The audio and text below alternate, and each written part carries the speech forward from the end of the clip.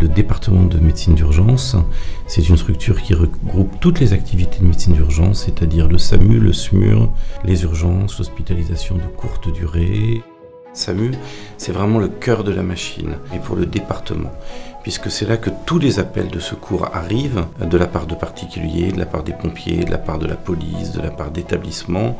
L'échographie a pris une place très très importante euh, dans nos interventions et dans notre organisation. Qu'on utilise euh, l'échographie pluri quotidiennement et à titre personnel, je crois qu'il n'y a plus une intervention quasiment où je ne l'utilise pas. On l'utilise dans différentes pathologies, différents motifs d'appel, euh, mais les principaux, c'est d'abord et avant tout la douleur thoracique, la dyspnée, l'essoufflement, le traumatisme, l'état de choc. Vraiment, dans ces cas-là, c'est indispensable.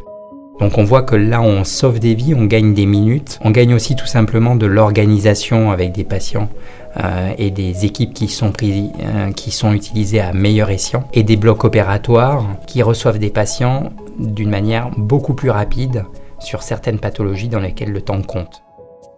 On avait fait une étude dans le service et on avait montré que dans environ un cas sur quatre, l'échographie nous avait complètement changé, soit le diagnostic, soit l'orientation. Et ça, c'est une chose qui est fondamentale pour nous qui faisons du préhospitalier, du SMUR, c'est de changer parfois la destination, c'est aller à l'hôpital de secteur, l'hôpital de proximité, mais parfois d'aller, de choisir d'aller beaucoup plus loin, mais dans un hôpital qui est équipé pour la prise en charge du patient.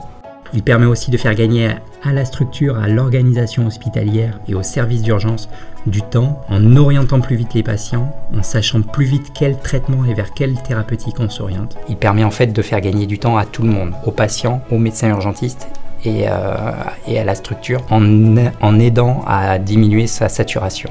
Donc il nous faut des petits échographes fiables, robustes, faciles d'utilisation, faciles à allumer, qui ont des images de bonne qualité et avec peu de touches.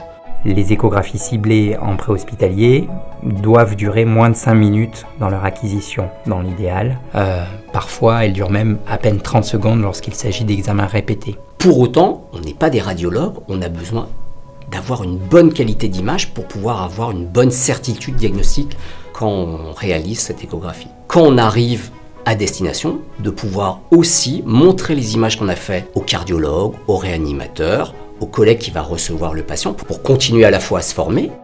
Il est indispensable que tout le monde soit formé pour avoir un niveau homogène sur l'utilisation de l'échographie. L'échographie clinique, l'échographie ciblée d'urgence fait partie intégrante et obligatoire de la formation de base de tout euh, jeune médecin qui euh, commence à entrer dans la spécialité de médecine d'urgence. Notre équipe participe à un diplôme universitaire euh, organisé sur Paris d'échographie ciblée appliquée à l'urgence et nous participons également à la formation initiale des jeunes internes. En conclusion, je pense qu'actuellement vraiment en médecine d'urgence, on ne peut plus se passer de l'échographie. Dans tous ces cas, on on reste dans une certaine zone d'ombre, l'échographie est irremplaçable. Je suis convaincu que dans les années à venir, il n'y aura pas de médecine d'urgence sans échographie d'urgence. C'est vraiment l'avenir et pour moi, il n'y a plus de doute là-dessus.